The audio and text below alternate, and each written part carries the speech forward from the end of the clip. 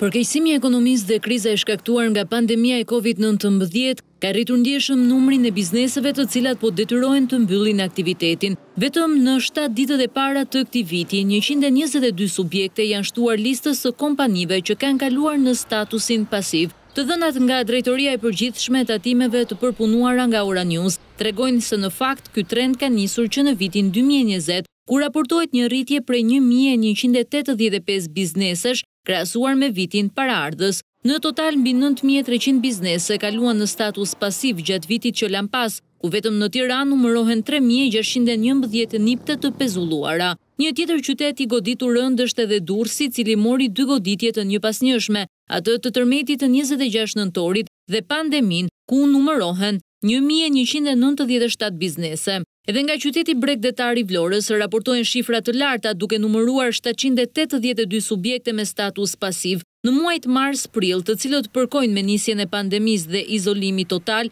detyruan shtatëqind e nëntëdhjetë e dy biznese të mbyllin aktivitetin. Përgjatë vitit të kaluar qarku i Dibrës dhe i Kukësit rezultojnë të kenë numrin më të ulët të subjekteve që kanë kaluar me status pasiv, Subjektet e vogla rezultojnë më të goditurat, ndërkohë që ato të mëdha po e përballojnë më mirë krizën, pasi në Drejtorinë e Tatimpaguesve të Mëdhenj ka vetëm pak kompani që kanë kaluar në status pasiv.